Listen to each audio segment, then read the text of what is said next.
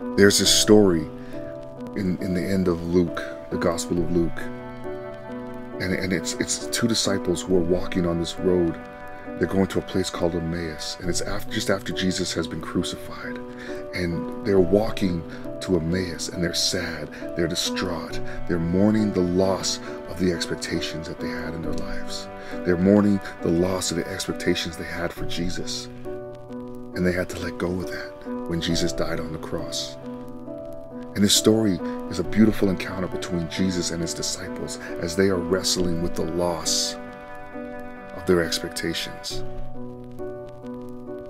In my life, there have been many moments where my expectations died. It's debilitating, frustrating, and frightening to move past our expectations.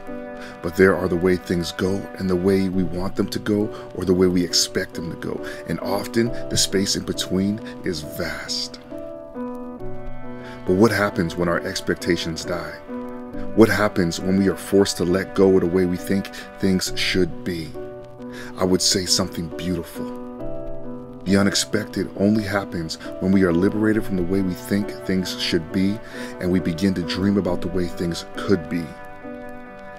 That is what the disciples experienced on the road to Emmaus. They were mourning the loss of their expectations when Jesus shows up. I believe that as we reflect today together on the loss of our expectations, we will find ourselves liberated to dream new dreams in light of encountering the resurrected, the risen Jesus. Holy Saturday is the day before encountering the unexpected. It is the day of lost hope in our expectations. It is the day when we come face to face with the fact that it isn't going to be like we thought. But as the disciples experienced on the road to Emmaus, this loss paves the way for something new, something better, something unexpected.